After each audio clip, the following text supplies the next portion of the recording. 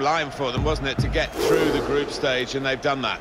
Yeah, it wasn't easy, and uh, you think it's going to get a bit more difficult, but they've looked hungry in that group stage, and they want to do their country proud.